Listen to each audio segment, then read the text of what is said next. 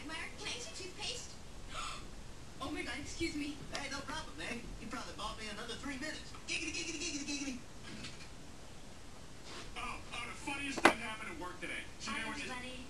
Hey, I had the worst day. First, I didn't make cheerleader because I'm so plain, and I still don't have a date for Friday night, as usual. I'm going upstairs and writing my journal about how I'll never grow big, full breasts like these.